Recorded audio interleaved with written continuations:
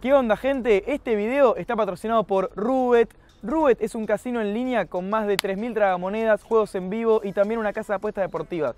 Y además de eso es el patrocinador de apuestas oficial de atletas campeones como Canelo Álvarez, Charles Oliveira, Brandon Moreno y muchos más. Escanea el código QR que aparece abajo e ingresa a rubet.com. Hace clic en la pestaña de redimir en la parte superior izquierda de la pantalla y agrega mi código Ezequiel 2022 para obtener acceso instantáneo al programa de Rockwards, que es un sistema de cashback de autoservicio. Vamos a la sección de apuestas deportivas y elegimos el deporte y la liga en la que queremos apostar. Argentina e Inglaterra debutan ante dos rivales accesibles, así que vamos a hacer una apuesta combinada. Apostamos 150 dólares y si ambos ganan nos llevamos 235. Recuerden que en Rubet te pueden depositar usando Bitcoin, Ethereum y Litecoin. No te olvides usar mi código para obtener acceso instantáneo al programa de Rockwards y recordá, si vas a apostar, hacerlo de manera responsable, de ser mayor de 18 años y estar en una jurisdicción legal para apostar.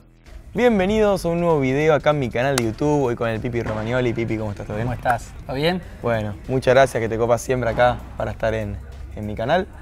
Ya hicimos, bueno, varios videos. Hicimos varios. Hicimos varios ya y ahora, bueno, falta días para el Mundial, no falta nada. Es así. Cada vez menos, mucha manija, mucha ilusión, todo, un poco de todo, mezcla de muchas cosas.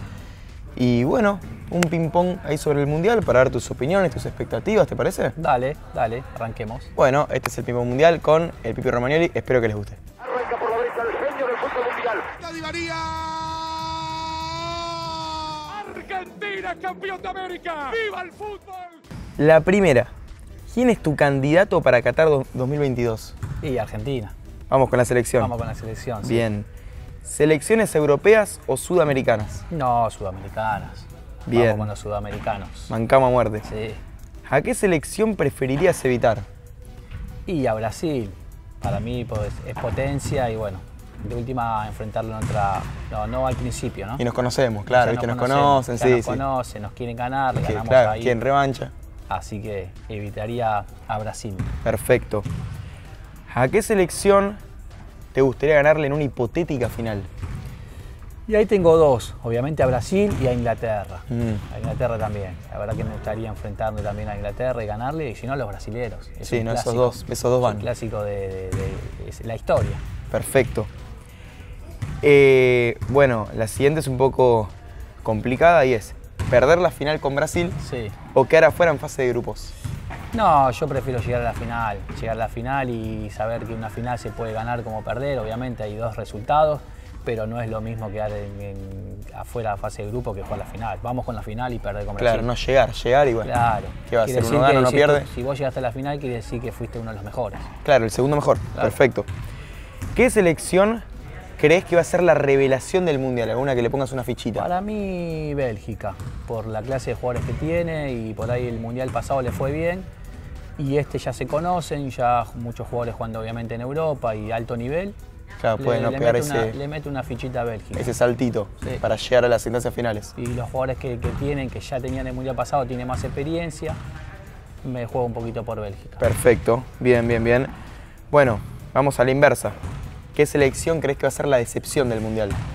Para mí, si bien elegí una final con Inglaterra, me parece que Inglaterra está pasando los últimos mundiales que como que no, no está bien y como que para mí va, no, no, no va a llegar tan lejos. Perfecto. Eh, ¿Qué jugador crees que va a ganar el balón de oro del mundial? Y yo quiero que lo gane Messi, yo quiero que lo, que lo gane Messi, se lo merece y bueno, ojalá, ojalá que así sea. Ojalá que se dé. ¿Qué jugador crees que va a ser el goleador del mundial?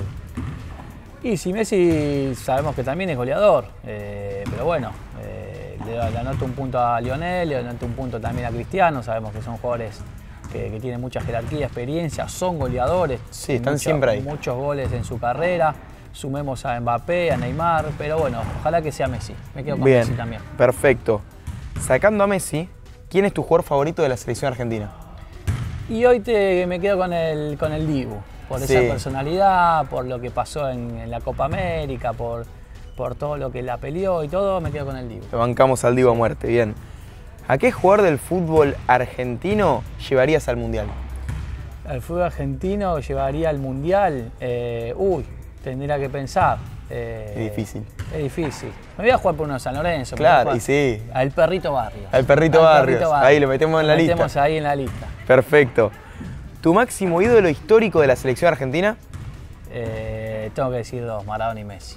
La siguiente pregunta te compromete un poco. ¿Maradona o Messi? Y no puedo elegir a uno. No, no. El argentino no va a elegir a uno. Por ahí uno sí que te elige, pero no puedo. Los dos. Perfecto, los dos, Maradona y Messi. Sí, Maradona y Messi. Está bien. ¿Menotti o Bilardo? Y ahí la verdad que yo no, no los viví. Eh, Los dos ganaron mundiales y uno está catalogado como que juega un poquito mejor, el otro más defensivo y ahí me gusta un poquito más ese juego. Me gustan los dos, pero bueno, vamos con Menotti. Claro, más. perfecto. Por el estilo, por el Sí, estilo. Sí, por el estilo. Bien. ¿Neymar o Mbappé? Hoy Mbappé, me quedo con Mbappé.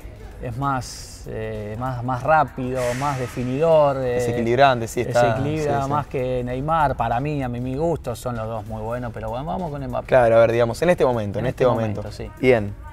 ¿Mundial cada dos o cada cuatro años? Estoy acostumbrado cada cuatro. Vamos cada cuatro. Perfecto. ¿Cuál fue el mundial que más disfrutaste? El que más disfruté, el último, eh, perdón, el anteúltimo fue el 2014, si no Sí, me equivoco, sí. que llegamos a, a la final y creo que mereció ganar Argentina. Otra, otro mundial que disfruté también fue la del, la del 94 y 98, que fue cuando en mi juventud que lo vivía, lo vivía de esa manera. Entre esas tres, está 2014, 98, 94 Perfecto. ¿Y el que más te decepcionó? Y el 2002. Eh, Mm, Argentina sí. había ganado las eliminatorias con un terrible equipazo, con Bielsa y uno pensaba que iba a llegar más lejos, a finales, y bueno, termina quedando afuera en, en grupos, ¿no? Sí, increíble, impensado. Vamos con las últimas. Sí. ¿Cuál fue el gol que más gritaste en un mundial? Que te acuerdes. El de, el de Maradona, que después termina gritando la cámara. Sí. No sé si creo ¿En que el fue en 94? noven- 94, ¿no? Sí. 94. Eh, y ese es el que más recuerdo, es el, el de Maradona en el 94. Perfecto. ¿Y el que más te dolió?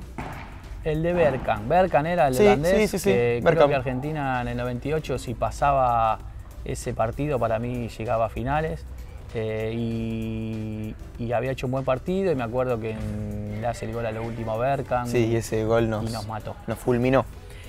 Bueno, las últimas dos, esto un poquito comprometedora, y es si cambiarías la Copa Libertadores con San Lorenzo por haber ganado un mundial. No, no la No, cambiaría. No, no, me quedo con la Copa bien, Libertadores con, está bien. con San Lorenzo. Está muy bien, está muy bien. La última, ¿qué promesa harías a cambio de que ganemos el mundial? Uh, me pelo. ¿Te Ya pelás? estoy medio pelado. ya Bueno, medio pelado. bueno, bueno, bueno, pero te pelás ahí me a cero. Pelo, me pelo cero. Uf, Cero, cero. La maquinita ahí. nunca te dimos pelado a cero, ¿no? ¿O sí? Y de chico sí me pelaba. Ah, bueno, claro, está bien, pero hace dejaba un mucho. poco largo, sí, hace mucho. Igual Hace tampoco tengo mucho pelo, pero me pelo, me pelo un poquito más. Está bien, Pipi, ¿Eh? muchas gracias No, a vos. por la buena onda como siempre. Gente, a todos ustedes, si les gustó el video, los invito a suscribirse, dejar un me gusta, dejamos el Instagram de ambos para que nos sigan a los dos. Así que bueno, hasta la próxima, muchas gracias. Chau, chau, nos vemos.